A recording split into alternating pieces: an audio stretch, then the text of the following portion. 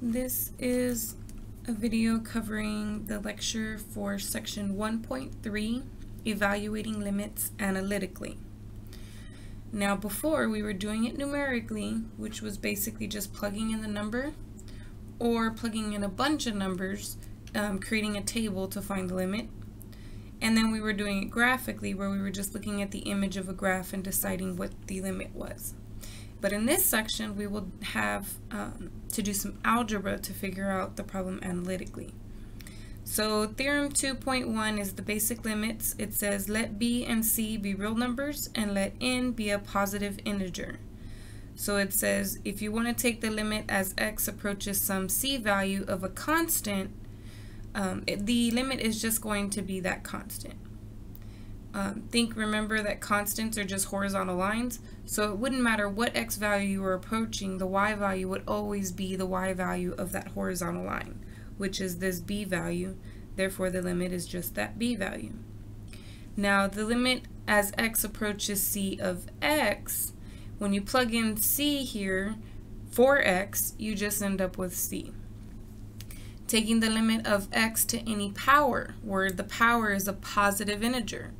Again, as x approaches c, if you plug in c there for x, you just end up with c to the power n. Now, theorem 2.2 is properties of limits. So this allows us to expand theorem 2.1 a little bit further.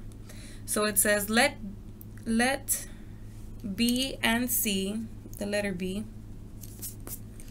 and c be real numbers, and let n be a positive integer, and let f and g functions with the limits f having a function at c equal to L and g having a limit at c equal to k. The scalar multiple says that if you're taking the limit as x goes to c of a scalar times your function f, you will just end up with that scalar times the limit for f, which was L. Number two, the sum or the difference. So if you take the limit of f of x plus or minus g of x, depending on whether you're adding the functions together or subtracting the functions from one another, um, that will give you the, fun the function f's limit plus or minus the function g's limit. So if I'm adding these two, then I'll add their two limits together. If I'm subtracting um, the g function, then I'll subtract its limit k. The product, number three, says that if I'm going to take the limit of f times g, then I'm going to end up with the limit for f times the limit for g. The quotient says if I'm going to divide the functions f and g, then I'm going to take the limit of f, which was L, over the limit of g, which was k. Provided, of course, that k does not equal 0. Otherwise, this fraction would be undefined, and therefore the quotient rule would not apply. Number 5 is the power. So if function is raised to a power, then I just get my limit for f raised to that same power. Theorem 2.3 is the limits of polynomial and rational functions. So it basically takes this, these two together to make polynomials, right? You have coefficients and then you're adding and subtracting terms. So these two rules create polynomials and then with polynomials on top of polynomials, that means you have quotient rule here. So basically rules 1, 2, and 4 will create rational functions. So it says for if p is a polynomial function and c is a real number, then the limit of that polynomial is just p of c. So you plug in c for all the x's and that'll be your limit. The same thing for the rational function.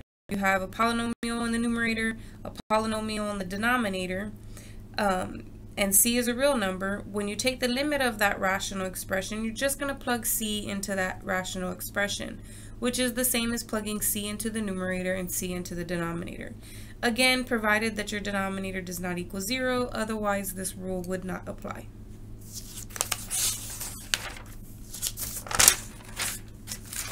So theorem 2.4 is the limit of a function involving a radical. So the let n be a positive integer the limit below is valid for all c when n is odd and is valid for c greater than 0 when n is even. So if you're taking the limit as x goes to c and you're taking some radical of x, again, you're just plugging in c for x and you'll get the radical um, a c. The only reason why they have these stipulations here is because um, wouldn't matter whether this is a negative or not. Um, it wouldn't matter if the number inside was a negative or not if this radicand is, or I'm sorry, if the index is odd, because you can take the odd root of a negative number. However, when the index is even, this number on the inside has to be positive, because you can't take an even root of negative numbers. That would make imaginary numbers. So it's the only reason why stipulation is here um, that C would have to be positive if the radical was an even radical. Okay. Theorem 2.5, the limit of a composition function. If f and g are functions such that the limit of g equals L and the limit of f equals f of L, so notice here I'm approaching C, but here I'm approaching L, okay? If I plug in C there, I'll get g of C, but they're saying that that's just L okay?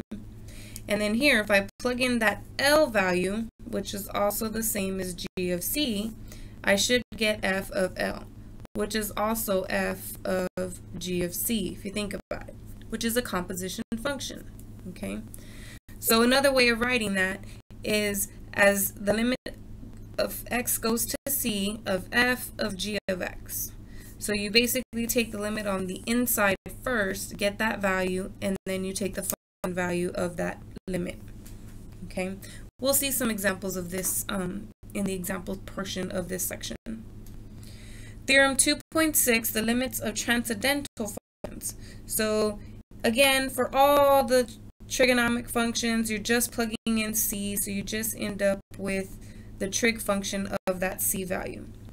These other transcendental functions are a little bit different, like your exponential functions. If you plug in c for x, you end up with whatever that base is raised to the c power.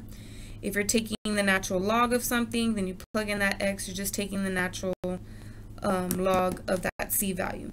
Again, here, when you're talking about exponentials, the exponent needs to be positive for this particular case. I'm sorry, the base needs to be positive for exponentials, and the argument needs to be positive when you're talking about logarithms. Um, theorem 2.7 is the functions that agree at all but one point. So here you let c be a real number and let f of x equal g of x for all x not equal to c in an open integral containing c. This upside down a is another way to write for all. So if you see that again in the future, it just means for all. Um, if the limit of g of x as x approaches c exists, then the limit of f of x also exists since they're equal everywhere except for at c. And the limit of f would equal the limit of g. So recall this section, this problem here from 2.2 examples 1, which I think it's actually 1.2 examples one. Um, we had this problem here. And if you recall, we went ahead and we reduced it by factoring the denominator. And we got the limit as x approaches, oops, not infinity, 8 of 1 over x plus 1. Well, the graph of this function and the graph of this function are exactly the same graph. The only difference is, is here there's a hole at 8 because the denominator would be 8. I mean, would be 0 if I plugged in 8. And here there is no hole when x is equal to 8. And I'll demonstrate that with the graphing calculator. So if I go to my y equals and I plug in um, x plus 8 divided by x squared minus 7x minus 8 um, graph. We'll see what this graph looks like. And notice that because these two cancel, actually, even though they, they do cancel, this is going to create an asymptote here because of the denominator, the x minus 8 being in the denominator. So that's why here there's an asymptote there, which is why I couldn't just plug in 8 in this expression. But after you reduced it, you got to this. Okay, now let's go look what the, let's go see what the graph looks like there. So we have one, oh, I'm sorry, I graphed the wrong thing. That's why was wondering why this looked a little odd. Okay, let's do it now. Now it should be proper. Here we go. So there is no asymptote there. Let me get rid of that. And if I zoom in where x is equal to 8, let's see, zoom to, and I want to go over there to where x is equal to 8. Oops.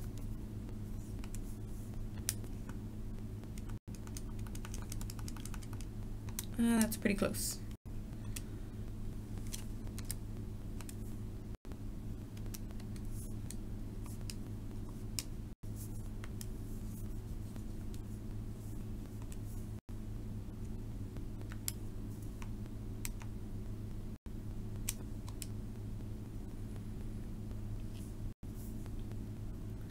So if I trace my graph, notice how I have my x values here. And it doesn't look like it's going to let me go. Well, it might. Here we go.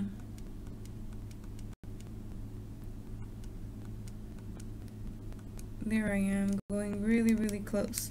Now it's not letting me see it but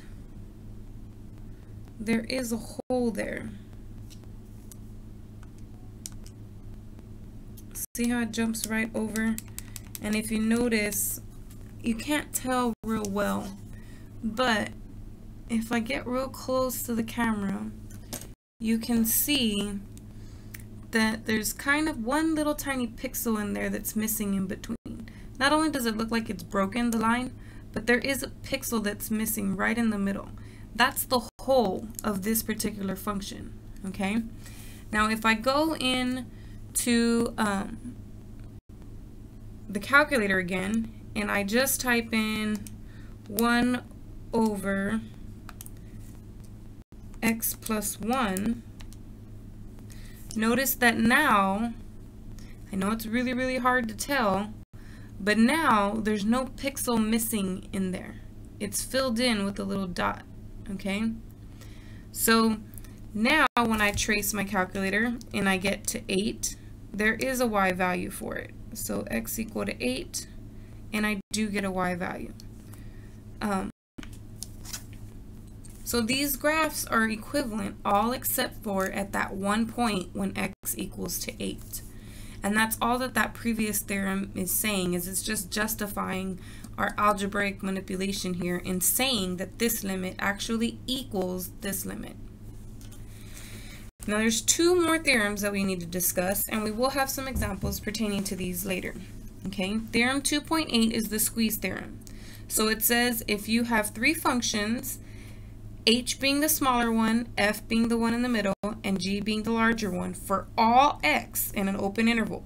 So for every single x in a certain interval, this is a true statement. The function f will be between these two functions. This one on the bottom, this one on the top, because this one's smaller and that one's larger. Then if the limit of h equals L and the limit of g equals L as x approaches the same c value, then when f approaches the same c value, it will have the exact same limit.